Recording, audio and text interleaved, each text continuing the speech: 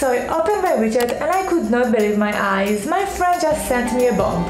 Sending a bomb is not a big deal, but watch this, my screen is under fire. So I'm here to tell you how to use animated emojis. Emoji is a word from Japanese which means picture and character.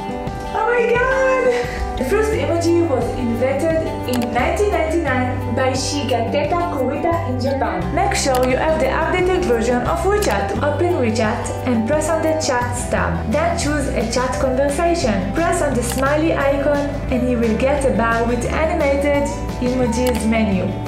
Now choose an icon and send it in the chat conversation. With this feature, you choose emojis and it keeps changing once you send them. Guys, I tried all the emojis in this menu and I'm here to save your time and to show you which one is a must-use emoji. Funny emojis. Is that a cookie? What is it? What is it doing?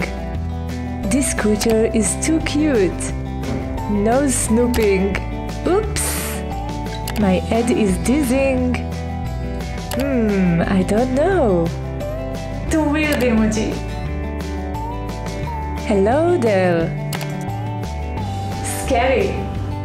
I love this one. It reminds me of the scream. What does it mean? I will kill you?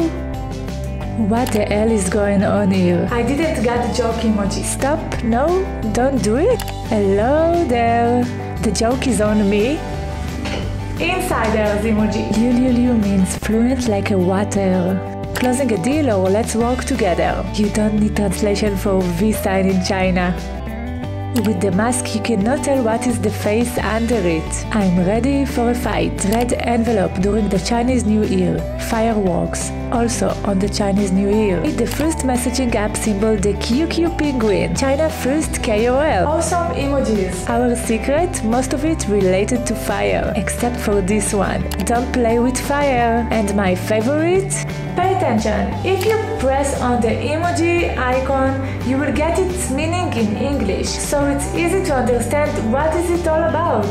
Oops, this belongs to another video. You should send the emojis one by one and not few emojis together or with a text. That way it will not work. Emoji.